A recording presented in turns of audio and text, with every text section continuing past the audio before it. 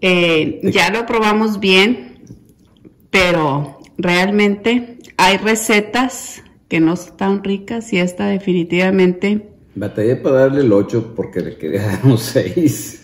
Amigos, pues eh, esta es una receta de las que Marcos me dio un 8. Yo la acabo de probar y está más o menos. Eh, si van a hacer una de mis eh, recetas, esta tiene un sabor. Mm, no está dulce.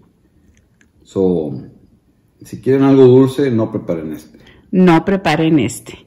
Quédense a la receta y a lo mejor pueden agarrar algún tip eh, de este pastel pero si están buscando un pastelito, les recomiendo mejor el pastel japonés aquí arriba.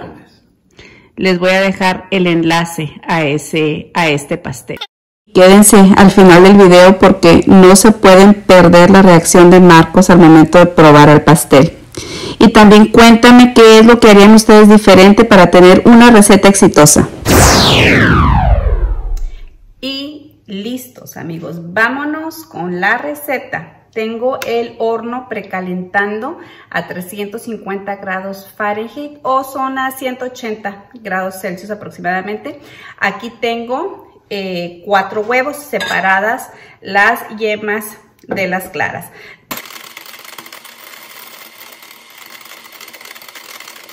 Ya que las claras estén a medio batir, lo que voy a hacer es eh, aquí tengo un limón que yo ya le quité eh, su cáscara. Voy a poner una cucharada sopera de el jugo de limón una vez que tus claras estén a medio eh, batir. Y se lo voy a agregar de poquito en poquito. Esto es una cucharada sopera. Depende de qué tan grande esté tu limón. El mío medio limón fue apenas la cucharada sopera. Ok, vamos a seguir eh, espumando y agregando eh, el jugo de limón poquito a poquito.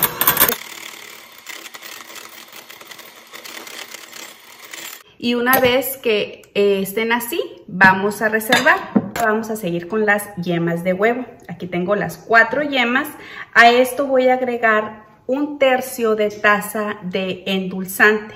El endulzante de su preferencia, el que ustedes eh, les guste más. Yo estoy utilizando este, es el que ya viene eh, pulverizado. Si ustedes no lo tienen en esta presentación, lo pueden moler en su licuadora, pero sí les recomiendo que lo pulvericen. Entonces, vamos a agregarle aquí el ah, tercio de taza una vez que ya lo vean, que haya cambiado completamente de color y que haya quedado así como este listoncito, eh, pues de un color amarillo casi blancoso, es momento de echarle los siguientes ingredientes. Hoy tengo yo 370 gramos de yogurt griego. Este es el yogurt griego que yo estoy utilizando cualquier marca de yogurt griego, está bien, 370 eh, gramos. Vamos a poner aquí también una cucharada sopera de vainilla.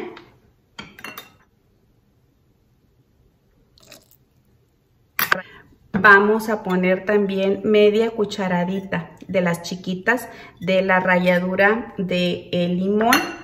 A mí me tomó un limón completo y lo hice muy superficialmente para no llegar hasta lo blanco del limón. Vamos a batir todo esto muy bien.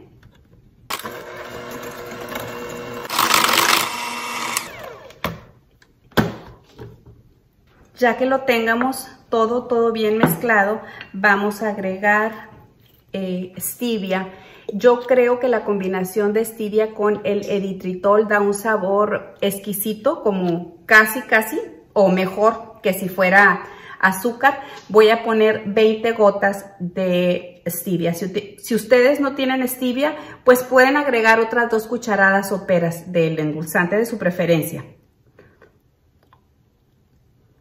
Vamos a incorporar la, eh, las gotitas de stevia y yo recomiendo que lo prueben y ya una vez que ustedes hayan probado de dulzor y que estén contentos con el dulzor, es momento ahora de poner el último ingrediente. Cuatro cucharadas soperas de harina de almendras y las vamos a poner eh, por un colador.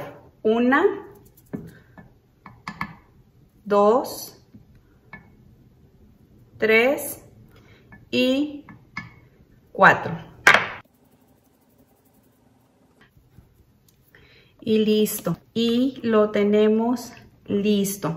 Vamos a dar una movidita antes de ponerle las claras a la preparación de las yemas porque se le quedó un poquito de líquido aquí abajo y es por el limón que se separó esto, pero eh, con una movidita que le demos con una agitadita y debe de estar bien. Ahora sí, vamos a incorporar en dos partes. Ok, tenemos la primera parte y sí, aquí se ve donde se separa un poquito, les digo, no pasa nada, es por el limón. Como quiera, eh, tenemos lo que queríamos, que es eh, aire en las claras. Así es que vamos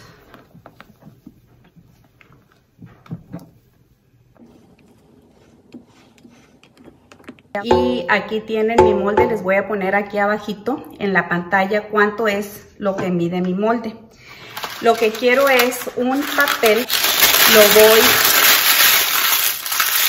a exprimir así para que quede más manejable. Y eso lo queremos hacer para que eh, se despegue bien y no tener que ponerle nada a el molde. Y una vez que ya tengamos el papel así, vamos a poner la preparación. A el horno va. Y nos vemos ahorita en 40 o 45 minutos. Y ya lo tuve en el horno por 45 minutos, ven qué lindura. Ahorita lo voy a dejar a que se enfríe así con la puerta medio abierta. Lo voy a dejar 30 minutos y ahorita nos vemos. Listo. Ya estuvo el pastel en el refri como 3 eh, horas. Ya lo vamos a desmoldar. Vamos a espolvorearle de el mismo endulzante que utilizamos, el que ya viene pulverizado. Y... ¿Todo? Sí, a que se vea bien bonito, mi amor.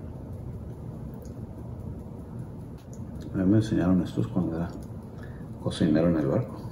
Oh, sí.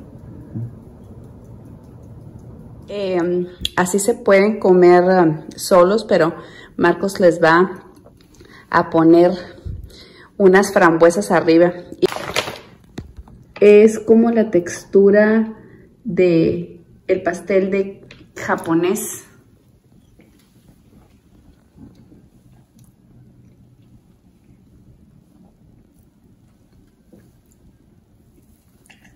¿Cómo está? Doy un 8. ¿8? sí. ¿Por qué? Porque hay 11 que te he dado. Ajá. En otros pasteles. Sí. Si me dieras a escoger, preferiría el, el japonés que dices. Sí.